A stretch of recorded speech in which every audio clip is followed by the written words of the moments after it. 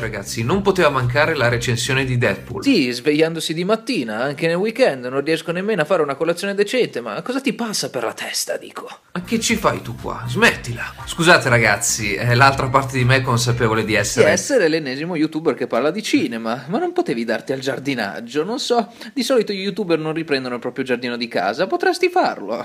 Va bene, basta un attimo. Allora, eh, il giardino di... Eh, Deadpool di Tim Miller, un progetto fortemente voluto da Ryan Reynolds e consegnato al grande pubblico con il famigerato vietato ai minori di 18 anni.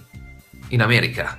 Qui è un film per tutti. È da mesi che la campagna marketing ci sta avvertendo che non è il classico film di supereroi.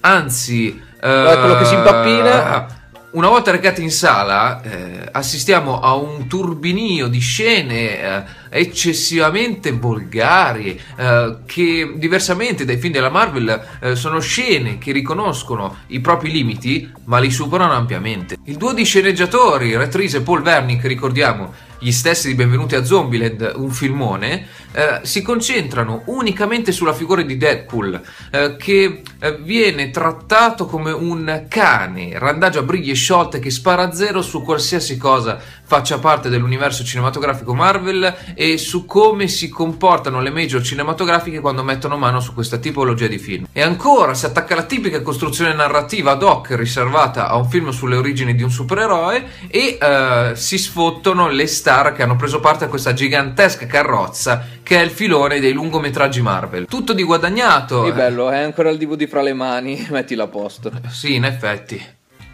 tutto di guadagnato perché a giovarci è il ritmo sempre fresco, è come se si eh, aggiornasse di continuo per adattarsi alle esigenze dello spettatore che non si stanca mai, rimane sempre appagato dalla visione, piacevolmente appagato, eh, perché è intrattenimento allo stato puro che non si fa scrupoli e ti tira fuori un campionario di sequenze battute da film per adulti e ci tengo nuovamente a sottolinearlo. Tengo a sottolinearlo come se i nostri iscritti non si fossero già informati sulla cosa.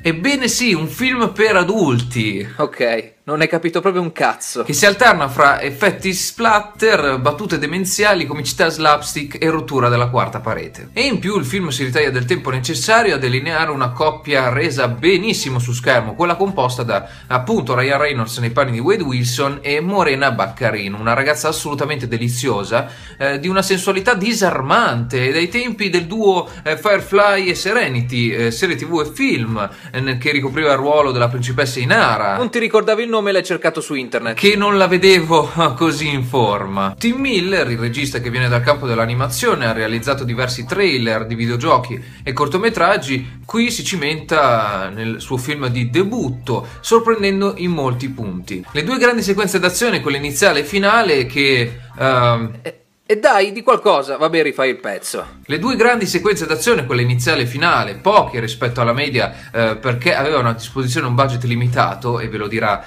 eh, anche Deadpool nel corso del film, sono girate eh, benissimo, con un piglio azzeccato eh, che scandisce i tempi, eh, riprende con mano ferma le fantasiose coreografie, addirittura eh, Miller si butta a capofitto in evoluzioni mai fine a se stesse perché potenziano lo spirito comico del personaggio principale. Insomma, Deadpool... Siamo arrivati arrivati alla fine di questo video, alleluia. È eccessivo, sboccato, roboante, caotico, che varca la soglia del demenziale per diventare qualcos'altro. Anzi, vi dirò, ridefinisce il suo genere di appartenenza portandolo a un livello successivo. E sicuramente quando vedremo nelle sale ad agosto Suicide Squad ci ritroveremo di fronte a un film altrettanto folle ed esplosivo. Qui Antonio Cianci, il Raccatafilm.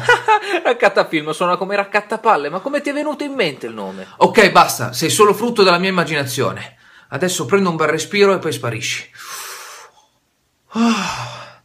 Qui Antonio Cianci, Raccatapalla finito. Se eh, lo avete già visionato, riportatemi qui sotto un vostro parere, altrimenti che ve lo dico a fare? Correte in sala a vederlo e supportiamo questo film supereroistico low budget che vuole acquisire una sua propria identità e poi è stato distribuito dalla 20th Century Fox che l'anno scorso ci aveva consegnato un orribile Fantastici 4 si è ripreso alla grande. E voto caro, ricordati il voto. Ancora tu, eh, il voto, eh, lo metterò nell'info box. Un saluto a tutti, ciao, alla prossima.